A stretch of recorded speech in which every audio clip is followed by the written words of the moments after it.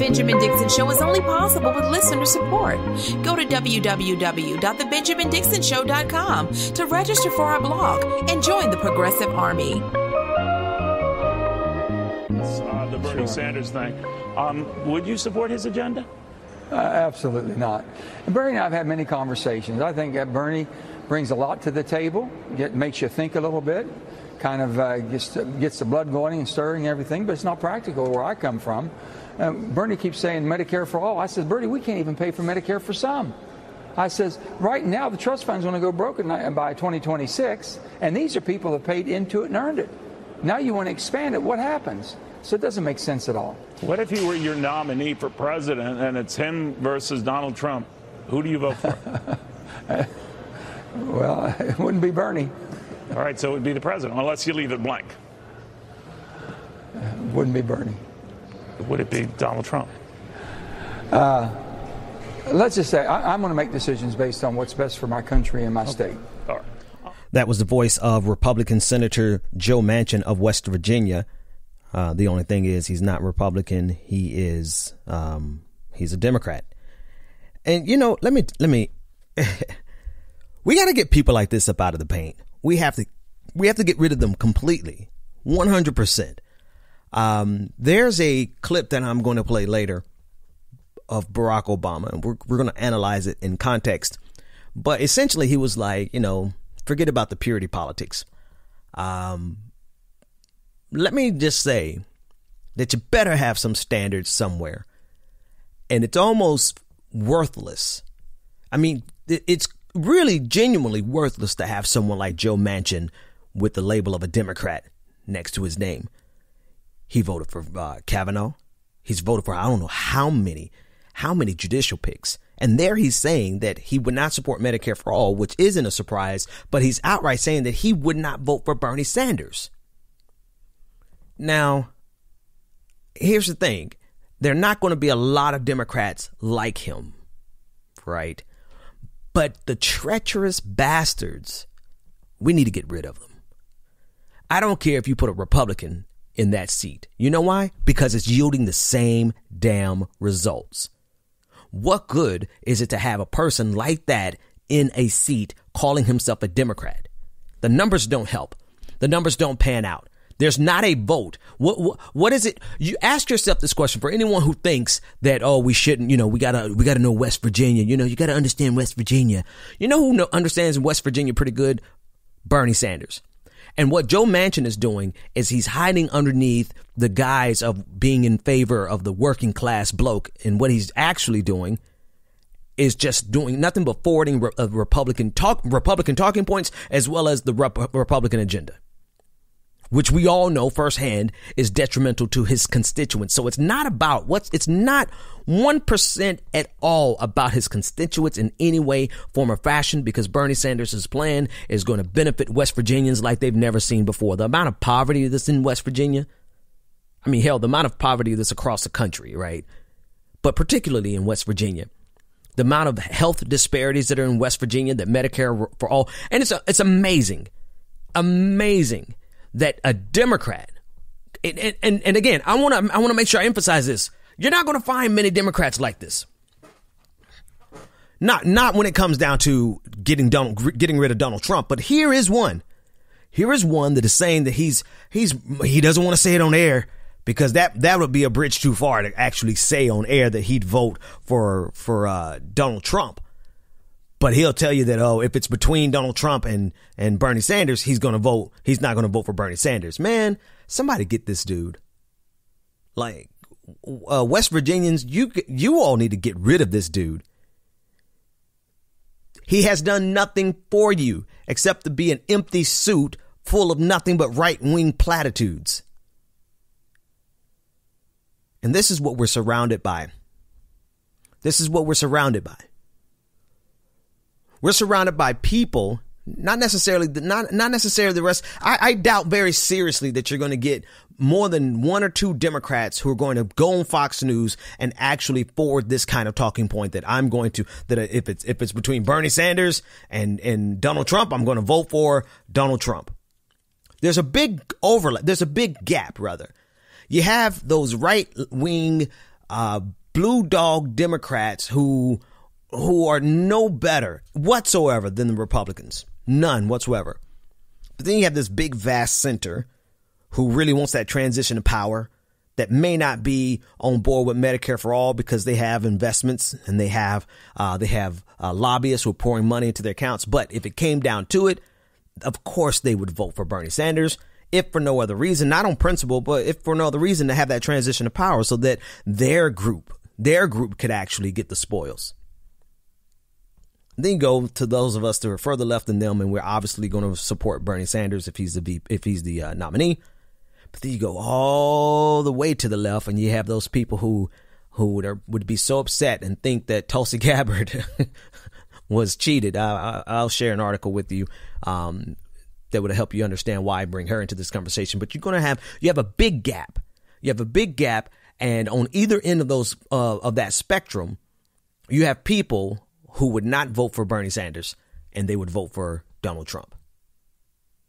And again, and I want to be clear, like I have no, I, I'm not ascribing any moral, um, any moral qualities to those people who are centrist, like like Neera Tanden, for example, uh, Center for American Progress. She's been the president of the Center for American Progress for a long time, and she's anything but a progressive.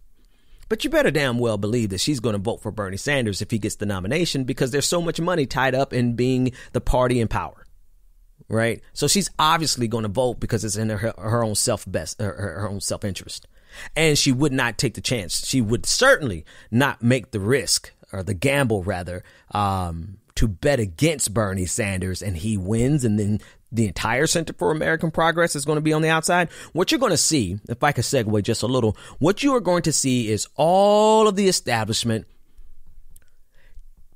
pretend as though they've been progressive all along. And they're going to go along with Bernie Sanders as the nominee simply so that they can be there to get the spoils, so they, they can get the fundraising dollars, so that they can get the contracts to do X, Y, and Z, so that they can have access to this part of the White House, so that they can have access to this event, so that they can have premier seating at, at the inauguration and they can be seen on international television. Those types of things. You have those people who have no moral connection to what Bernie Sanders is doing whatsoever, and they're going to come on board. Then you have those who are like genuinely 100% no matter what, they they want Donald Trump out of power and they would prefer Elizabeth Warren because, you know, hey, they didn't like Bernie Sanders and they don't like uh, Bernie Sanders supporters, and um, it's not necessarily unjustifiable. If I could just be an asshole for a second, I mean, have you seen how you guys act? but that's neither here nor there. I'm sorry. That that's totally not the point of this tirade. Uh, the point is, is that you're going to have those people who will reluctantly support Bernie Sanders, but will 100% support Bernie Sanders. If that makes sense, like they're not going to want to they would rather Elizabeth Warren. They would rather Andrew. Oh no, nobody wants Andrew Yang. Um, Julian Castro. Um, uh, maybe, maybe, you know, I don't even know who would want Cory Booker. But the point is, they would want anyone but Bernie Sanders. But if Bernie Sanders gets the nomination, they are going to go all in because they want to get rid of Donald Trump. They probably are indifferent towards Medicare for all. Some of them probably think it's a good idea, but they don't want to ascribe it to Bernie Sanders. They're going to have they're going to have a, a, a great deal of antipathy with their support for Bernie Sanders, but they will get on board with Bernie Sanders simply because they understand the score and they understand we cannot have four more years of Donald Trump. Then you have those of us, hell of high water, we're supporting Bernie Sanders.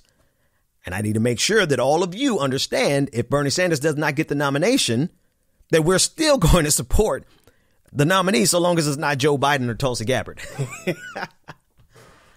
I mean, uh, it's not going to be either one of them. Joe Biden is going down in the polls. Thankfully, thank God. I just, I did not want to be faced with the situation where we potentially actually had to support Joe Biden just to stop Donald Trump's madness. But there must be some justice in the universe because I don't think we're going to have to face that proposition. I think it's going to come down to Bernie versus Warren. And I think Bernie obviously is going to snag it and Warren's going to be his VP pick. Um, that would be the smartest choice. But those there are those of us who are just who who are down for the for the for the things that Bernie Sanders is down for, right? We're fighting for what Bernie Sanders is fighting for.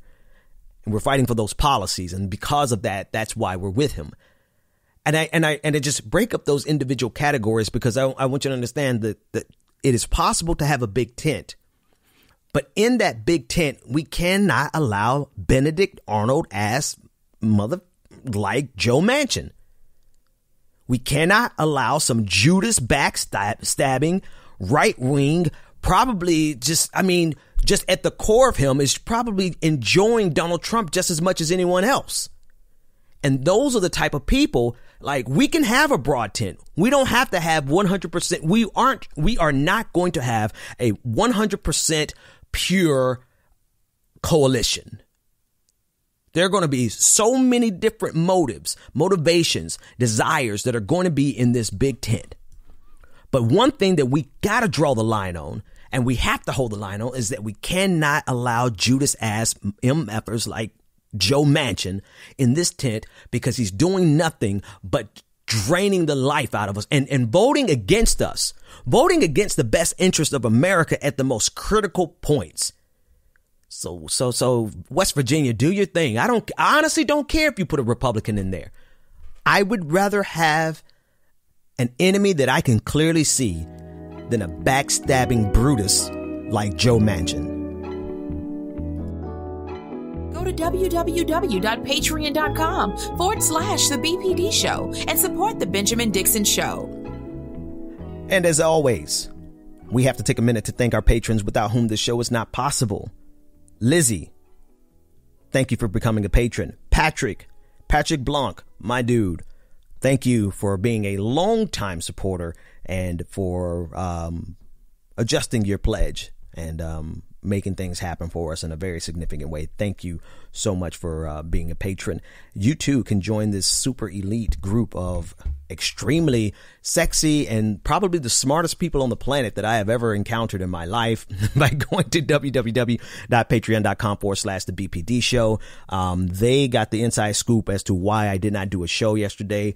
Man, let me tell you, um, I slammed my finger in the door or the door just closed on my finger, the car door. And when I say closed, I mean completely closed. Like I had to reach underneath my left arm and open the car door and blood just just splattered everywhere and I just knew I just knew I broke my finger. Like I just it it was so painful. I thought that my finger was hanging off and I couldn't look at it. So my wife looked at it and just, you know, she told me that it was uh you know, I just kind of tore off my fingernail and blood was going everywhere. So, uh, hope that didn't gross people out too much. But that's why I couldn't do the show yesterday because, uh, yeah, I had to, uh, you know, it was kind of painful. I have to admit that that was um, low key um, some excruciating pain. But anyway, they found out about that before anyone else. Uh, let's take a listen to this clip from Barack Obama. And I'm going to tell you where I agree with him and where I vehemently disagree with him. This, this idea of purity and you're never compromised and you're always politically woke and all that stuff, you should get over that quickly. The world, the world is messy, there are ambiguities. People who do really good stuff have flaws. People who you are fighting may love their kids. There is this sense sometimes of the way of me making change is to be as judgmental as possible about other people. And that's enough. Like if I tweet or hashtag about how you didn't do something right or used the word wrong verb or then I can sit back and feel pretty good about myself because man, you see how woke I was. I called you out. no. I'm sorry, I just tickled myself. But no, man, listen. He's here's where um again, this is where you come for nuance, right? I'm not going to give you the BS just left leaning anything or or even agree with them fully. Here's where he's right. Actually, no, I want to start with where he's wrong. That's more fun. I mean, seriously, we cannot create the recreate the exact conditions for the failures that occurred during the Obama administration. Now, you can uh, determine the motivations, or maybe you think it was all kabuki theater and controlled opposition. And um, if that's what you want to think, that's fine. I totally just disagree with you. What I know happened was a level of opposition like we have never seen before in this country coming from the Republican Party, such that they were willing to betray everything that they believed and essentially hollowed out their belief system in order to oppose Barack Obama, who tried his best to work with them by triangulating and moving towards, I mean, a Medicare system, a, uh, uh, a healthcare system that was modeled after them. But because it was so important to Republicans, that they defeat Obama no matter what. They were willing to sacrifice everything that they believed in order to get political wins. And Republicans learned very quickly the value of having no beliefs except for opposition. Now, where I say that we can repeat those same mistakes is that Obama was as naive going into the office of the presidency as I was going into s- stuff that I've done, you know? And, and the thing is, is like, I would hope that you learned President Obama. I mean, I know you're a brilliant guy, and it's probably a little presumptuous of me to suggest that I can teach you something or recommend that you learn something. But the fact of the matter is, man, I hope I, I would hope that after your eight years of dealing with these snakes in the grass, you would realize that our approach to them has to change, fundamentally change. It's not about purity politics as much as bringing a damn sledgehammer to a picnic not even to a fight. Like we need to roll up on these people and smash their political brains out, politically speaking, and blindside them with so much, I mean, energy and wrath that they don't see it coming. Because you know why? That's what they did to us. That's what they're continuing to do. And they're doing it for the wrong reasons. So why the hell would we not put up our entire armor and go in like bats out of hell and just scorch the earth and take no prisoners? And when we when, we when we have these when we have these casual conversations about, you know, let's not be pure. Let's not worry about it because, you know, maybe they, you know, the people we're working against, you know, they love their kids too. I don't give a damn if they love their kids. We need to take their kids out, politically speaking right? Because their kids are going to carry that same vitriol that has set this country back hundreds of years just so that they can score political points and get the spoils of this capitalistic empire that we live in. So why the hell would we take one second? Barry, why would we take one second to give a damn about what they think and how good they might actually be, even though they have some, you know, they do some bad things. There might be something good about them. F- them. Absolutely, man, forget them. Put them out of our misery, politically speaking. Vote them out. Destroy them. Don't give them an inch. Don't give them an inch because they didn't give you one. We're sitting with Merrick Garland on, I mean, no, I wish. We're sitting with Gorsuch on the bench because they would not give you an inch with Merrick Garland. There is no, this is not the time to be civil. This is not the time to be forgiving. This is not the time to be reasonable because we're dealing with a cult of death called the Republican Party. And we have to get rid of every single one of them out of office. Politically speaking, everything that I'm saying, sound clip it if you want to. I don't care. Tell people that I'm talking violently if you want to. I know I'm talking about politics. We need to get them out of the paint. We need to make sure that I mean, they're working to disenfranchise us every sing at every turn, Obama. Why should we ever take a second to consider what they want? Now, if you're talking about Democrats, why should I take one second to con- be concerned about Joe Manchin? Get him out the paint. Destroy his career politically. The dude won't even vote for Bernie Sanders. He would vote for Donald Trump over Bernie Sanders. Destroy him politically. You talking about some centrist? If they're working against our agenda, get them out of the mother paint. Destroy them politically. If they're working against an agenda that's for the betterment of humanity, which some of them are. This isn't about purity politics. This is, see, this is not about purity politics. This is about winning for the right reasons, fighting for what's good because they're fighting like hell for what's bad. And what they've used more than anything else is this, this idea that we can actually get along with them. We don't have time for that. We don't we don't have time. That's literally what they work they used against you, President Obama. That's literally what they use to beat you at every single turn. We're still waiting for some of your accomplishments, uh, for this th- five dimensional chess that you were playing. And your answer is, oh, you know, we don't have to be a, uh, uh, the purity politics is not exactly what we, we need right now, you know? Huh? I'm more woke than you. It, it, no! All right. Apparently there was a lot more that I disagree with them on than I thought. Cause you put it in context, man. F- these people. All right. Here's where I agree with them. The performative wokeness. The wokeness that actually isn't doing anything but just online and grandstanding. That's a waste of time. That doesn't move our agenda forward.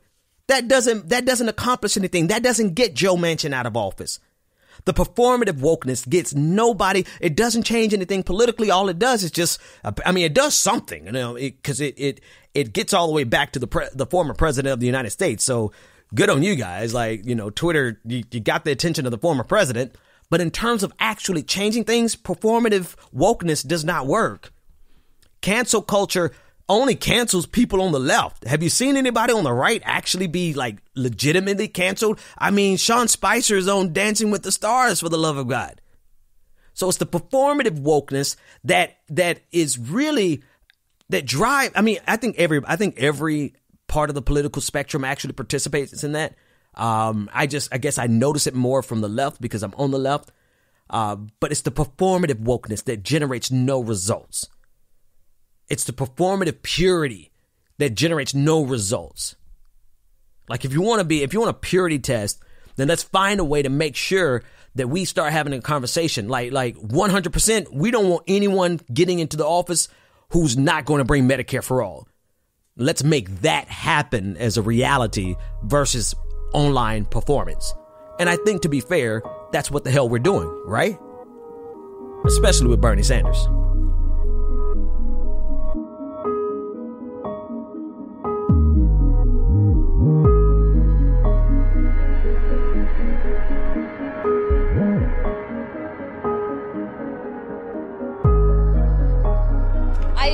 Honored to be on the House Foreign Affairs Committee, one of the six committees with jurisdiction over this inquiry and investigation. And I intend to use my power as a legislator to follow the facts to use the Constitution as my guide to hold this president fully accountable to the rule of law. That is Representative Ilhan Omar announcing uh, that the basically that the impeachment inquiry vote has passed 232 to 196 in the House, basically along partisan lines, except, of course, you're going to have some turncoat Judas, I mean, Benedict Arnold ass Democrats every single time. Collin C. Peterson of Minnesota and Jeff Van Drew of New Jersey joined Republicans voting against it. You had three Republicans. First of all, this is what Republicans do, man. They got their thing together. Not a single Republican voted in favor of impeachment. Three abstained from voting. Cowards.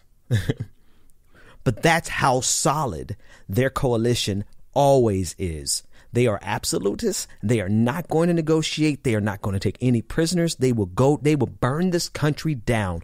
They will see this empire fall before they give Democrats an inch. And if you think for one second that you can appeal to the goodness in them, you've already lost. You're dead and you don't even realize you're dead. So that's just, I mean, that's the attitude that they take towards politics. And if we come with anything less than that, those two turncoat, we, you know, there needs to be a price to pay. This is politics. This isn't nice. This isn't niceties. This isn't, I mean, this ain't church. I mean, the people are more brutal in church than, than politics. Like you have these naive people going into politics and they, they, they prey on the naivete. I don't think that these two, uh, uh, you know, like Joe Manchin and these two guys in the House, I don't think that they're naive. I think that they are opportunists and I think deep in their core of who they are, they actually support Donald Trump. But they play on the naivete of their supporters, of their constituents. And if you, and I'm trying to help you, the constituent, understand if for one second you give these people an inch, they will gut you and think nothing about it and deliver to you a far right dystopia. All because you thought that you could cooperate and work with these people. No, absolutely not. Draw the line here. It's from a movie.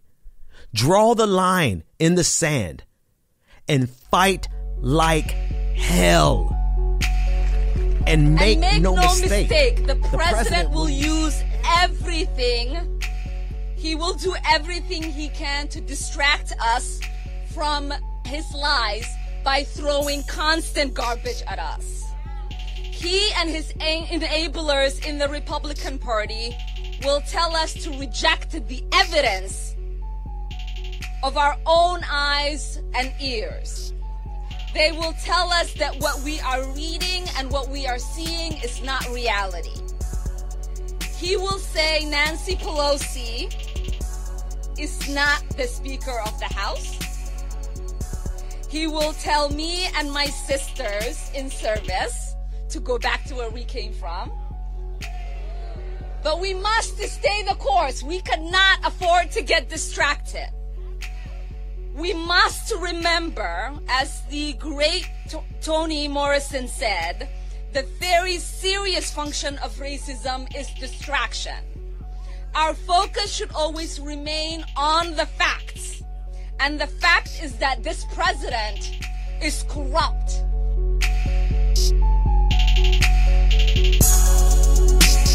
Benjamin Dixon Show is only possible with listener support. Go to www.patreon.com forward slash The BPD Show and support The Benjamin Dixon Show. If you like this episode, be sure to share, like, and subscribe